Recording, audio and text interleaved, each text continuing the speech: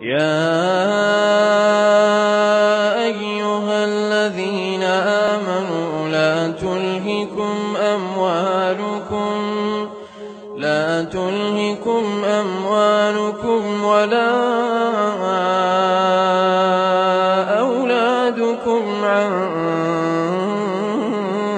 ذِكْرِ اللَّهِ ۚ وَمَن ذَٰلِكَ فَأُولَٰئِكَ هُمُ الْخَاسِرُونَ. وَأَنفِقُوا مِمَّا رَزَقْنَاكُم مِّن قَبْلِ أَن يَأْتِيَ أَحَدَكُمُ الْمَوْتُ. فَيَقُولَ رَبِّ لَوْلَا أَخَّرْتَنِي إِلَىٰ أَجَلٍ قَرِيبٍ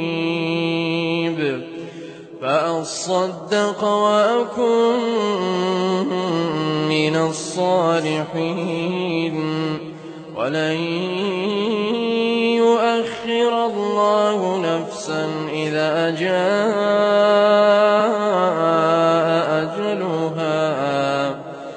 وَاللَّهُ خَبِيرٌ بِمَا تَعْمَلُونَ.